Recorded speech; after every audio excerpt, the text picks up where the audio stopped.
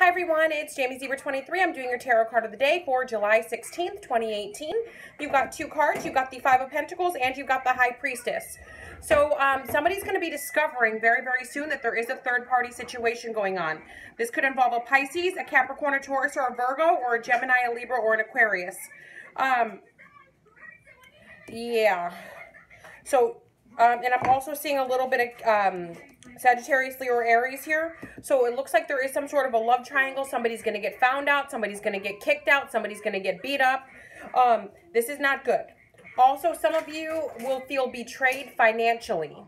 It looks like there's some unforeseen situations about to come up with your money, with your funds, with your account, with a lender, with a loan that you thought you, you were like banking on getting approved on this and you thought you would be fine with it.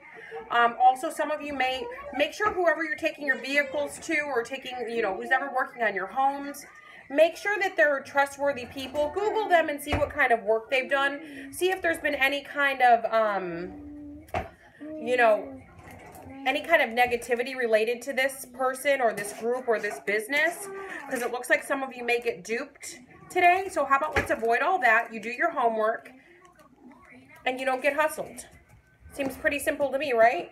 Okay, and now um, I feel like some of you got sick in the recent past or some of you broke a limb in the recent past or maybe a loved one got sick in the recent past and um, and your partner's kind of decided to stray and now you're just finding this out. Some of you could have been very pregnant at the time and you found out, you know, that this person had an ongoing relationship. It looks like the truth is coming out today. Um, I feel like the truth is coming out, but there's still going to be some more stuff that you don't know. Also, I'm getting that some of you, somebody's like, oh, I don't have a kid. That's not my kid. I don't know what you're talking about. That's not my kid. And then you find out that it is that person's kid. Or somebody's going to be like, you're the father. You're the father. You know you're the father. And then something happens and somebody finds out, no, that's not the father. Um, somebody could also be hiding a pregnancy from someone. This could either be a partner and maybe somebody said they don't want kids, so the other party's like trying to hide that they're pregnant.